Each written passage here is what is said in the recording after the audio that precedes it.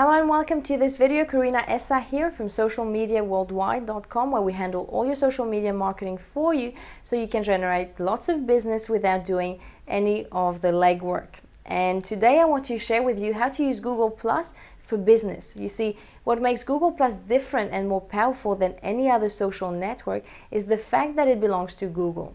This means if you have a Google Plus company page, you can benefit from search engine optimization. In other words, your chances of your business appearing on the first page of Google for certain keywords increases. In order to use Google Plus more effectively for your business, make sure you create a Google Plus business page. You see, just like Facebook, businesses can create a page instead of a profile.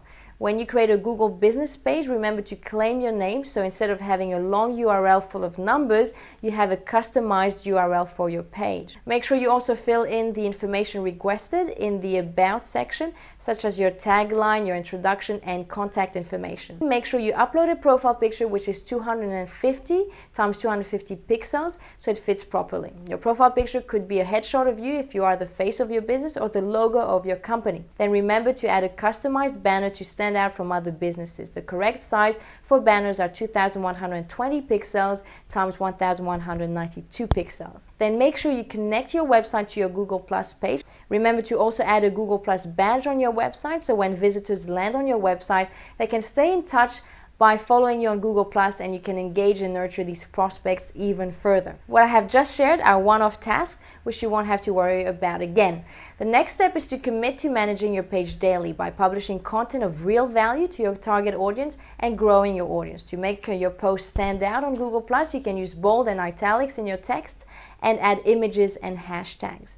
To grow your audience, you can use different tactics, but the first tactic you can use to get your Google page going is inviting your existing contacts to like your page. You can do so by publishing an update on other social networks stating you have created a Google Plus page and inviting people to join you there, or you can simply email your database and add your Google Plus URL at the bottom of your email signature.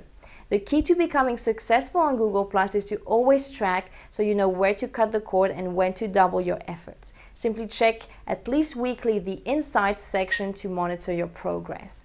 So I hope you've uh, enjoyed this video on social media optimization tricks. Remember to like this video, share it and leave a comment below. And to receive more social media tips, make sure you subscribe to our channel.